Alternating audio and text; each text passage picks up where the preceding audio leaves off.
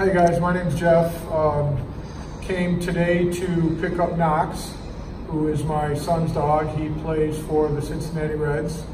Uh, away a lot, uh, obviously training and uh, on the road. Uh, so I came in to pick Knox up and go through a little refresher course on the training that Knox received. And I must say that uh, the best training I've ever experienced. Um, just the getting used to the commands, the training, the specifics, um, I thought was going to be a, a pain, but it turned out to be a pretty enjoyable experience. So I would recommend it for anybody.